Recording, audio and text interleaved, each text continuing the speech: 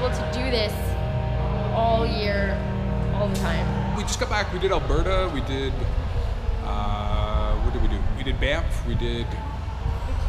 We had a bit of a hiccup, but we had to, to cancel Red Deer. We're sorry, Red Deer. We're coming back. I swear. Soon. Oh yeah.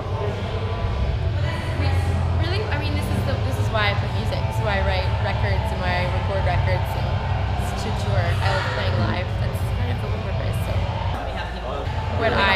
I am most drawn to as a writer and a um, guitar player, I definitely I relate more to that style of music and that kind of those tones musically and things. But I don't think I sit down and think, okay, I'm gonna write a rock song. Okay, I'm gonna write a blues song. I just those, that's the kind of music that's always kind of comes out of me and that I'm more drawn to. I think.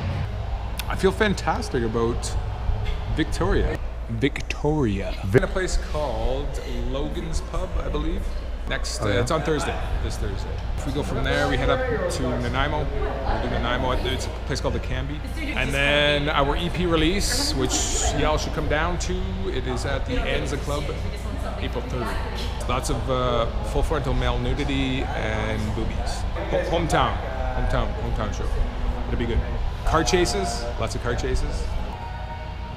We're just cleaning up after the rock show. It gets a little messy after we do a big rock show. Uh, check this out. Come here, uh, just get everything right. I like the chemical, uh, the measurement of uh, the proper chemicals, just for a proper rock and roll cleanup. Rock cleanup, I call it. This whole thing is the control of the rock that we do every night. Sometimes there's a little too much air, a little too much gas, CO2. so then you know what you do? You open that detergent right there f- and you flush her on through. It's great. And then it gets everyone back on track, and then we can sh- do the rock that we like to do. Um, just about through my shift here. It's you, yeah, 20 to 12. So I'm usually done in about five minutes. This is what's known as an India Pale Ale. It's made by the Whistler Brewing Company. And I'm going to tell you, it's a very fine, crisp IPA.